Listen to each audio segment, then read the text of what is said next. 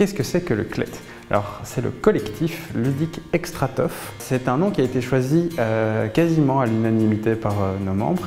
Et c'est un collectif euh, dédié à la création, dédié à, l'imagination, à tout ce qui tourne autour du jeu de société et même plus largement du jeu sous toutes ses formes. Le CLET a été créé pas sous ce nom-là, il y a environ un an, donc au mois de mai de l'année passée, après une certaine réflexion, Plusieurs personnes se sont dit tiens c'est une bonne idée, des réunions entre auteurs, entre prof-auteurs, c'est intéressant. Ça fait avancer les choses de, se mettre euh, ensemble autour d'une table, de mettre des choses en commun, de proposer des, ressources, des regards croisés. Actuellement nous sommes je dirais entre 20 et 30 membres plus ou moins euh, de près et de loin, mais un noyau de 12-13 personnes se réunit au moins chaque mois euh, au CLET. Il y a des auteurs, il y a des gens qui ont déjà édité des jeux, il y a des gens qui créent des jeux. Euh, ça, c'est le point euh, qui nous rassemble. Pour le moment, euh, nous sommes à une réunion mensuelle dans laquelle on aborde différents sujets, à la fois les prototypes de nos membres, à la fois des discussions d'ordre général, d'ordre opérationnel, d'ordre d'organisation, et puis aussi quel Qu'est-ce qu'on peut faire euh, dans le futur? Quels sont nos projets? Alors les projets, ils sont, ils sont, ils sont multiples, c'est un jeune collectif, donc il y a plein d'idées euh, qui fusent dans tous les sens. Concrètement, euh, nous sommes en train de, travailler en partenariat pour le, BGF pardon, dans le cadre de la, de la protozone.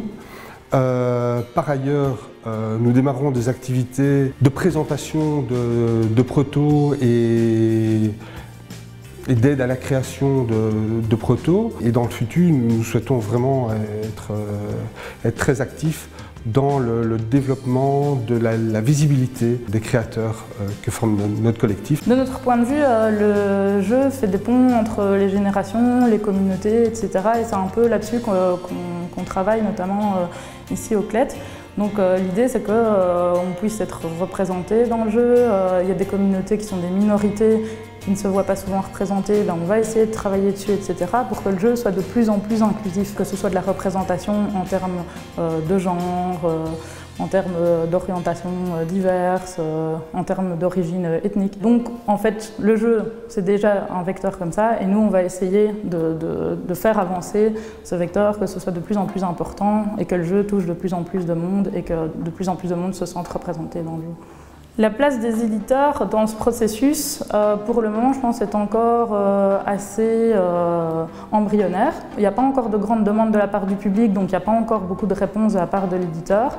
Mais on a des petits éditeurs qui sont de plus en plus conscients et conscientisés de ça.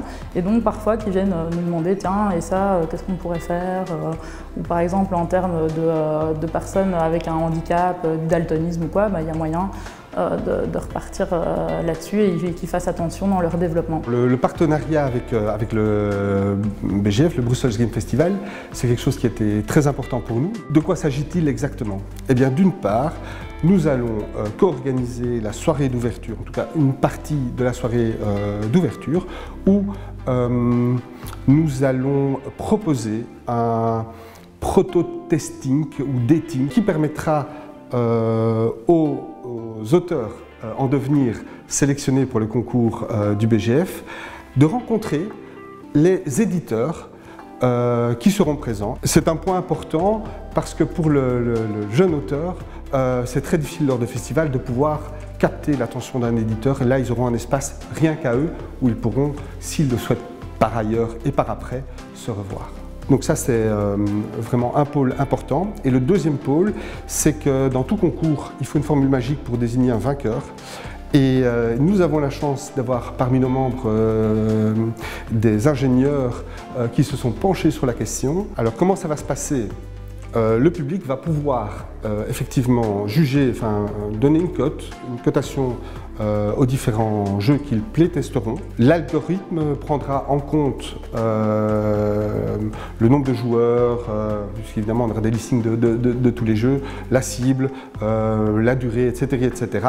Et effectivement le nombre de jeux qui ont été testés. C'est-à-dire que si vous avez un jeu qui a été testé par une personne et un autre qui a été testé par 20 personnes, eh bien il y aura des pondérations. De même, une personne qui aura testé plusieurs jeux aura une voix qui sera plus importante que la personne qui aura testé qu'un seul jeu. La personne gagnera ce concours aura l'extrême chance de pouvoir participer au, au protolab hum, du Festival de, Cannes et donc il aura l'occasion d'aller présenter là-bas encore son, travail auprès d'autres éditeurs. On trouve que euh, Bruxelles est quand même relativement euh, bien fournie en termes de ludicité que ce soit au niveau du secteur ludothèque qui est quand même très vivace et qui a quand même une belle particularité de la capitale.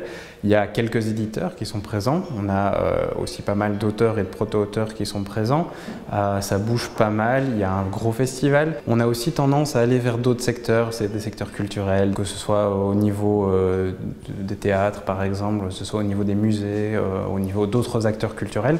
Donc globalement, on est quand même dans une ville qui, qui est quand même plutôt bien gardée de ce point de vue-là. Donc ça, ça facilite des échanges et c'est plutôt une richesse.